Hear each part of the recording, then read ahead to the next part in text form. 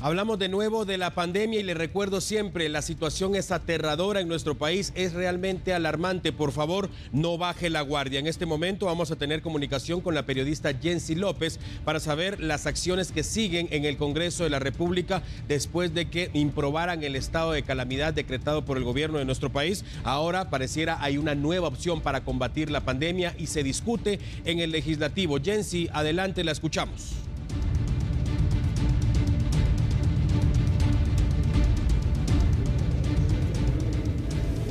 der Testesfehler Buenas tardes, Alan. En efecto, en estos momentos se está llevando a cabo la instancia de jefes de bloque en el Congreso de la República. Los parlamentarios continúan con la discusión de una ley emergente para atender la pandemia del COVID-19. Recordemos que esta iniciativa será la alternativa del organismo legislativo luego de que no se aprobara el estado de calamidad decretado por el presidente de la República, Alejandro Yamatei, para pues eh, disminuir la cantidad de contagios de COVID-19. 19 esta propuesta de ley de momento aún está siendo analizada por parte de los jefes de bloque. Sin embargo, se cuenta con un borrador el cual consta de 27 artículos. El objeto principal de esta normativa es facilitar la compra de insumos y demás equipo hospitalario para el Ministerio de Salud Pública y Asistencia Social, para el IX, para el Hospital de la Policía Nacional Civil y para el Centro Médico Militar con el fin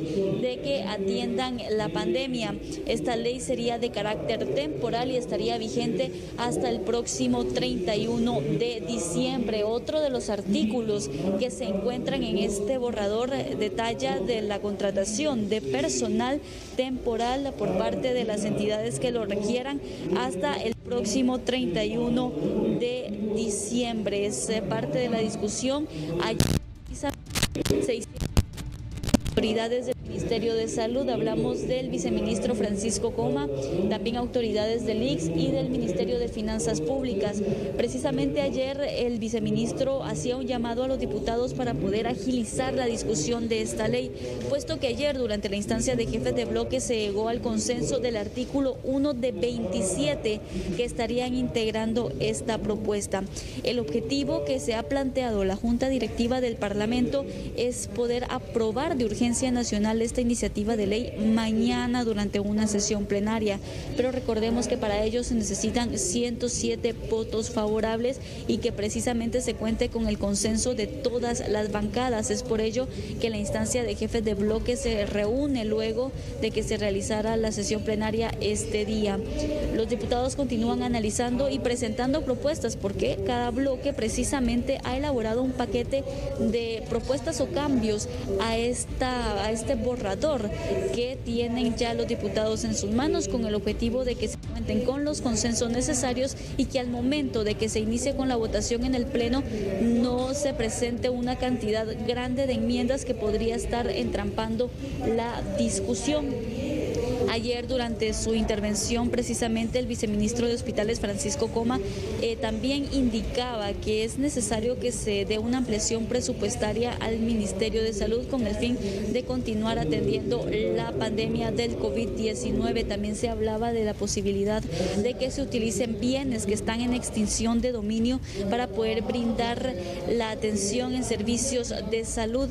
Pero también en este borrador es importante resaltar que se encuentra un artículo el cual está establece que las entidades públicas están eh, obligadas a poder brindar algún tipo de instalación a las autoridades de salud pública y asistencia social para que brinden estos servicios a la población guatemalteca. La discusión al, al interno del organismo legislativo es muy amplia, puesto que de momento los diputados eh, están discutiendo el artículo número 2 de esta iniciativa eh, de ley que estarían presentando ante el Pleno del Congreso de la República. Se avisora que la discusión pueda ampliarse según lo que se ha logrado percibir y el tiempo que han estado tardando los diputados en discutir cada artículo.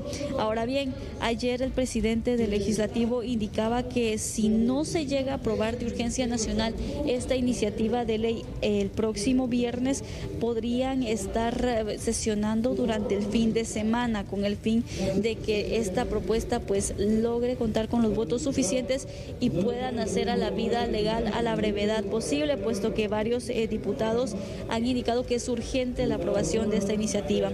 En estos momentos eh, el artículo 2 se encuentra sobre la mesa y precisamente este se refiere a las entidades que están sujetas a esta ley. Como ya les indicábamos anteriormente, la misma aplicaría al Ministerio de Salud, al IX, al Centro Médico Militar y también al Hospital de la PNC. Escuchemos parte de la intervención del viceministro Francisco Coma. Y tengo que hacer una exposición de motivos muy rápida, y creo que el, diputado Conde lo dijo, es decir, hay una, población que de alguna manera está siendo partícipe en el proceso de atención de la pandemia, eh, vacunación y atención eh, de ciudadanos guatemaltecos. Y la consideración es que en determinado momento ellos pueden estar expuestos a la contaminación de la pandemia. Eh, que reciban o no, básicamente dentro de esta estructura de ley, desconozco la, necesidad real que tengan, pero como decía muy bien el diputado Conde, ellos si requieren apoyo, tienen apoyo del Ministerio de Salud Pública y Sistema de parte de la discusión que se lleva a cabo aquí en la instancia de jefes de bloque. Están presentes las autoridades del Ministerio de Salud, del IX, del Ministerio de Finanzas, para poder continuar con esta discusión. Al finalizar esta reunión sabremos si se estaría proponiendo entonces la aprobación de urgencia nacional de esta iniciativa de ley para este viernes o bien el Congreso de la República estaría sesionando durante el fin de semana. En cámara, Werner Álvarez con este reporte. Regreso a Estudios Centrales.